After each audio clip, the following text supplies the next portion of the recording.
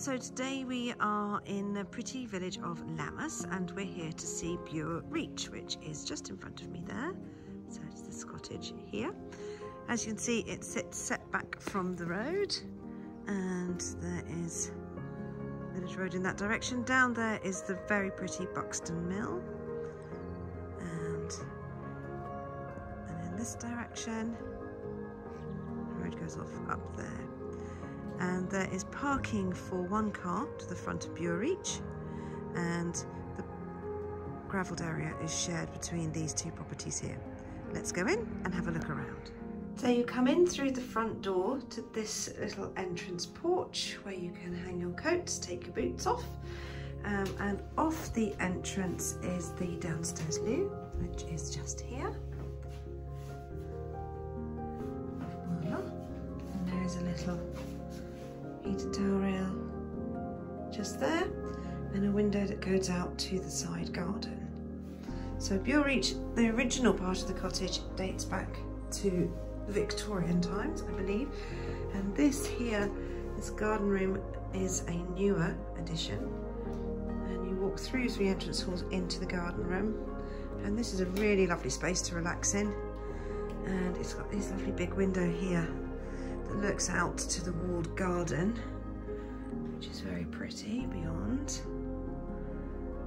And there is a door here that leads out to the rear of the property. And this little cottage has a fantastic trick up its sleeve outside, which I shall show you in a bit. But so off the garden room, you come into the original part of the cottage and you have this lovely dining room here, an exposed beam there. There's a cupboard up to the end of that. And off to the right of the dining room is a kitchen. And the door from the kitchen from the it comes in from the dining room and equally to the side here from the garden room where we were just now. And kitchen, nice modern fitted kitchen, permanent tiled floor. There is space here for a washing machine and a dishwasher. And there's a gas hob and electric oven there. There we go. And this gives you your first glimpse of the hidden gem at Bure Reach. As out of your kitchen window, you can glimpse through there to see the river.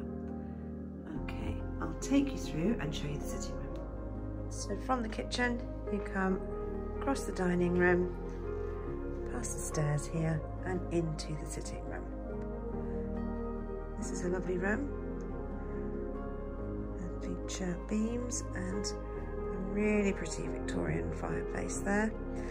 And the sitting room is to the front of the cottage. So this little bay window here is out to the parking area in front. I'll just turn you around so you can see back into the room. So this two bedroom cottage has a lot of downstairs reception space with the garden room, dining room and this sitting room. Perfect. I shall show you the bedrooms upstairs. So upstairs you have two good sized double bedrooms this one to the front of the cottage. It's currently arranged as a twin room, but it is really a very decent sized bedroom. And it looks out again over the parking area there. I'll walk you back into the room so you can see from here. Another pretty little feature fireplace. And there's a wall cupboard there too. And the second bedroom and the family bathroom are off the upstairs hallway here. So the family bathroom sits between the two bedrooms and this is a really generously proportioned bathroom for a cottage. Um, so you've got nice heated towel rail, wash hand basin, sink, there's a bath there, and a separate shower enclosure. with a mains pressure shower and a rainfall head there. And a further cupboard there. And this has a window out over the side of the property. So looking out over the garden room, down to the walled garden and to the river and the countryside beyond. Really pretty view here. And I'll turn you around so you can see the room like that. This is a really lovely bathroom actually. There we go. Oh look, there I am. Hello. There we go. And then we'll go and have a look at the second bedroom. So whilst the second double bedroom at Bure Reach is slightly smaller than the bedroom to the front of the cottage, it's still a good sized double bedroom. I shall walk you in and show you around. So there we go. And there's another pretty little feature fireplace here. But what this bedroom boasts that the one at the front does not is this beautiful view from the rear of the cottage. So from the back of Bure Reach, you have these most fabulous, far-reaching countryside and river views. They really are lovely, even in January when it's at its most bleak. It's very beautiful. So there we go. And what I'll do is I will take you outside and I will show you the feather in the cap, if you like, of Bure Reach. It's a special little secret. Okay, bear with me, we'll go outside. So outside the cottage, to the side of the cottage, you've got this really pretty little walled garden here.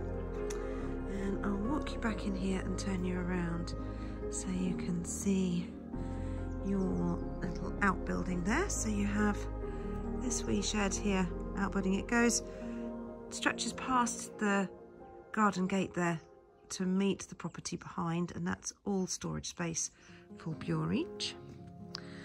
And then this garden wraps itself around the side and the rear of the cottage. So this is the garden room extension there and the bathroom window above. And it comes round to the side here.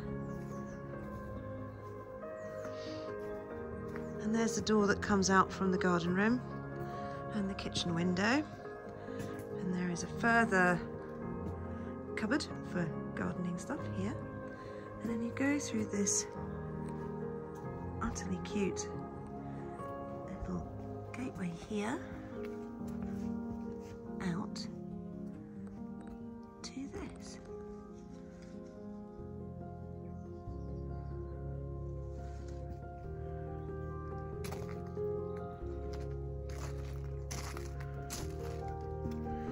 So from the back of Bure Reach you have direct access out